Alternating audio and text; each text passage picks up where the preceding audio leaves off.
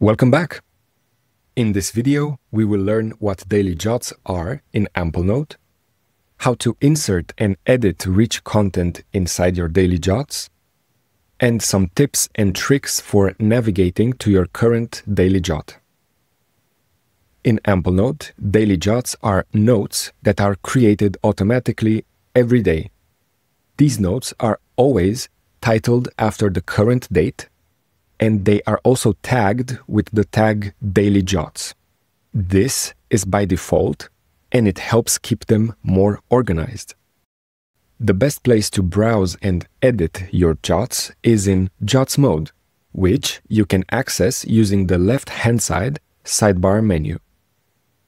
Amplenote creates a new jot for the current day as soon as you start typing something in this field.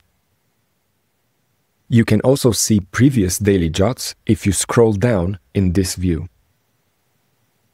If you are used to jotting down stuff inside a physical notebook, daily jots are a pretty close analog to that. Every day you can start from scratch with a fresh new page. Daily jots are great for journaling or quickly capturing ideas that you would rather not carry around in your head all day.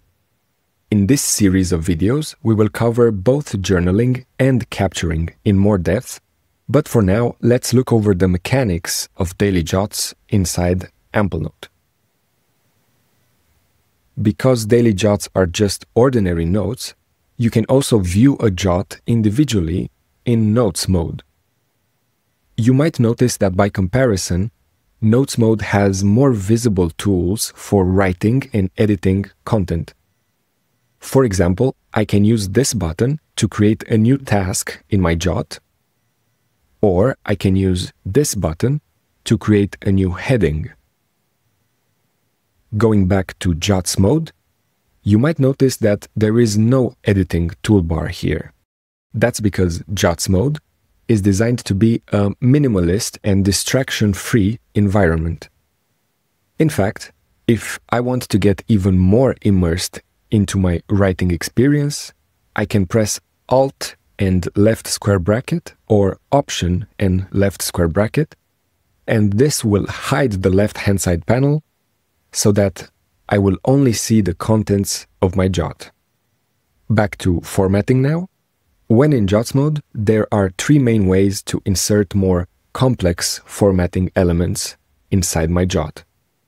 The first one is by invoking the corresponding keyboard shortcut. The second is by inserting the correct markdown syntax. And the third is by using the slash command menu. So, for example, if I want to create a heading, I have three options. Number one, I can press Ctrl Shift 1 on my keyboard.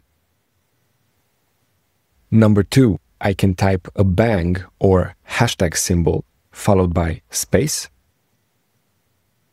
And finally, if I cannot remember any of the key combinations, the third way is to simply use the slash menu and start typing in the word heading. There are plenty of other options available for formatting the contents of my jots. For example, I can use the slash menu to create a task. Then I can use the command to mark this task as important or I can use the slash menu to insert a table at the current position. In Amplenote, there are a few small and convenient ways in which you can quickly view and edit your daily jot. For example, wherever I am inside the app, I can type Command O or Control O to bring up the Quick Open menu. From there, I can start typing in the word jots and press enter, and this will jump straight into JOTS mode. Alternatively, I can do the same and type in the word today instead and press enter. And if instead of pressing enter at this step, I press command enter or control enter, the current daily jot will be opened individually in the sidebar instead. This is very useful if I want to edit other notes or work on the calendar while also having my daily jot visible. The other way in which daily jots are favored by the app is when capturing tasks. For example, if I use the quick add menu in the bottom right corner, my current daily jot will always be displayed at the top or near the top of the list. So, you can start using daily jots right away for journaling thoughts throughout the day, as well as capturing ideas so that you don't have to remember them. Your jots are created for you every day, and they are always accessible no matter where in the app you are working from.